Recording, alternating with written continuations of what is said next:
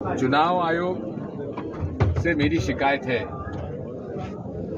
कोई हमारी बात का उत्तर नहीं देते, मिलते नहीं है। ये मेरी शिकायत चुनाव आयोग से। मैंने पार्लियामेंट में भी बात कही है on the floor of the house और बाहर भी मैंने कहा। तीन मेरे बेसिक क्वेश्चन है।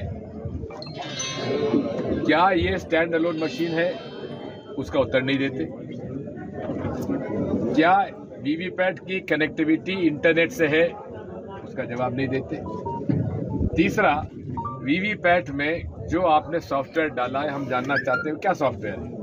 राष्ट्रीय पार्टी अप्रैल 2023 से समय मांग रही है। जो समय नहीं